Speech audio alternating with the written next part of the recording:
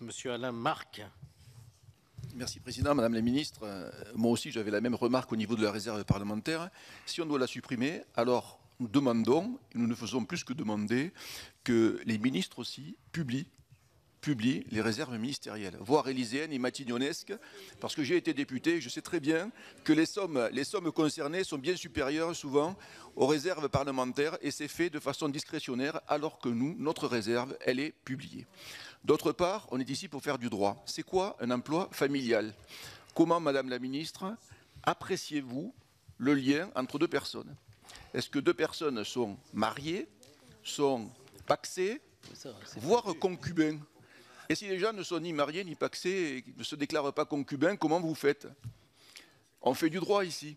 Comment allez-vous donc éviter ensuite les emplois croisés lorsque des gens auront conclu un contrat de mariage, sont paxés ou se sont déclarés concubins?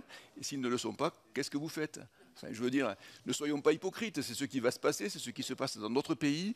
Et comment allez-vous remédier à cela, si ce n'est faire plaisir à la presse, faire plaisir au peuple? Tout le monde sera content, satisfait. On aura vu l'écume des choses, tout simplement l'écume des choses, mais en droit, on ne sera jamais allé assez loin.